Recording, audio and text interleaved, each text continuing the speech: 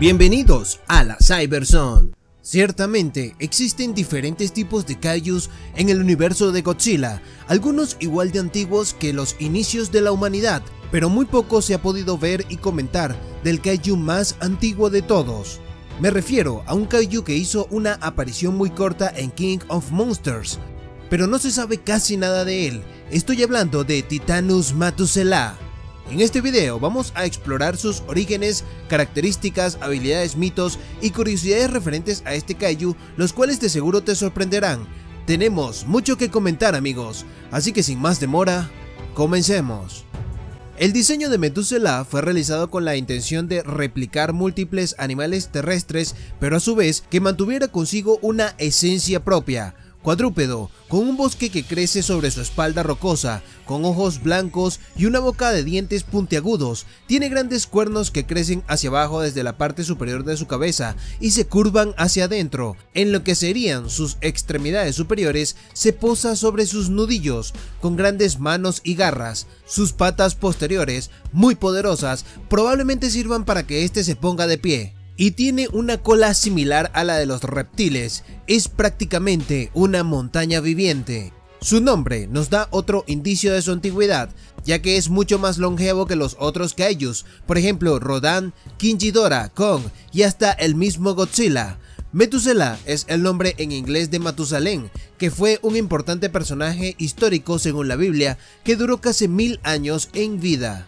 De acuerdo a su aspecto físico y este característico nombre, esta antigua criatura se tiene pensado para que tome el puesto de el primer titán que haya existido, y no me refiero a que está antes que Ghidorah o Rodan, o cualquier otro, este titán acompañó la creación y nacimiento del planeta que habitamos en la actualidad. Como muchos sabemos, la Tierra no siempre ha sido la misma desde que existe la humanidad. Todo el tiempo se ha mantenido en un constante cambio a través de millones de años. Específicamente, hace unos 530 millones de años se dio una explosión del periodo cámbrico, mejor conocida como radiación evolutiva y esta se caracterizó por una aparición repentina de diversas especies que evolucionaron muy rápidamente en comparación a otras etapas de la vida en la Tierra.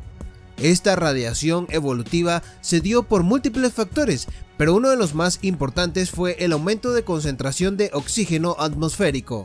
Methuselah fue una de las criaturas que se creó de esa explosión cámbrica por la cantidad de especies diversas, pero a finales de la era paleozoica, específicamente en el periodo pérmico, hubo una extinción masiva llamada la Gran Mortandad hace 250 millones de años en la cual se extinguieron el 95% de los animales marinos y el 70% de los animales terrestres.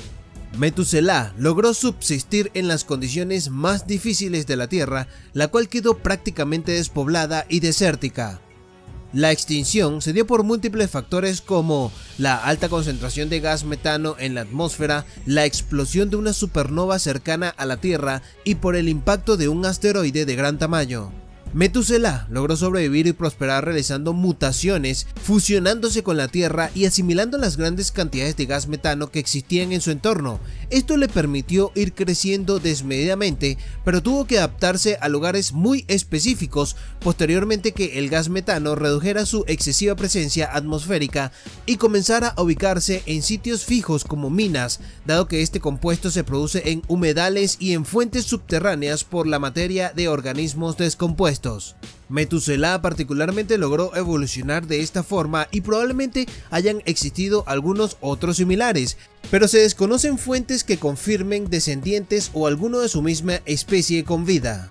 Progresivamente fue desarrollándose de manera adaptativa con el entorno donde habitaba, cambiando con el mismo ritmo que cambiaba la naturaleza terrestre. Según la leyenda, Methuselah destruyó una aldea en Múnich, acomodándose luego sobre sus restos, donde creció un bosque sobre él y se suponía que era una montaña hasta que Monarch descubrió sus verdaderos orígenes. La altura total de Methuselah es de 96 metros, su volumen interno y masa general son superiores a la de Godzilla del Con un peso de casi 125 mil toneladas. Esto lo convierte en el titán más pesado bajo la observación de Monarch.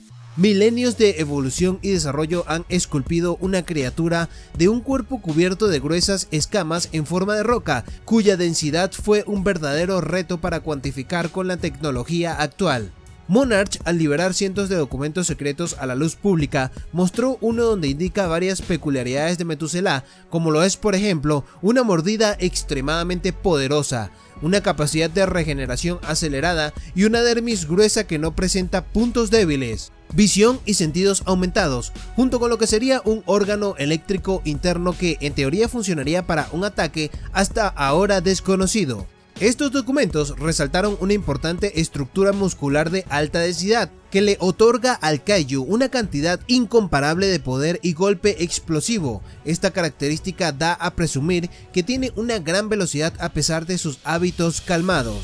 La desventaja más importante de Metusela es que cualquier movimiento rápido o golpe poderoso representa una cantidad astronómica de consumo de energía, en consecuencia, está sujeto a un rápido estrés durante la batalla, no muy diferente a sus parientes titanes como lo son Godzilla, Ghidorah o Rodan.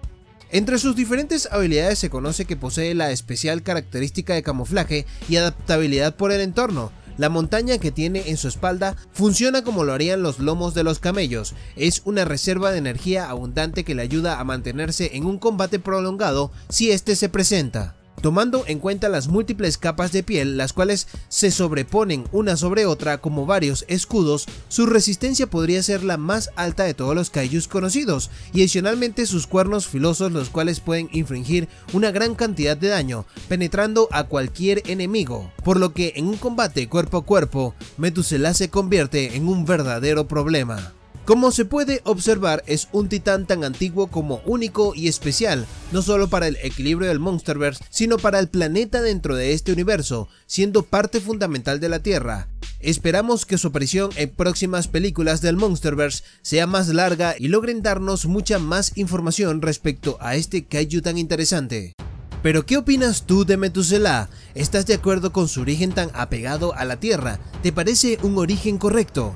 ¿Crees que acaso hay un kaiju más antiguo que este? Colócame en la bandeja de comentarios tus planteamientos o dudas para así enriquecer a toda la comunidad del canal. Y si llegaste hasta este punto, muchas gracias. Yo soy Cyber y esto es la Cyberzone, así que será hasta un próximo video.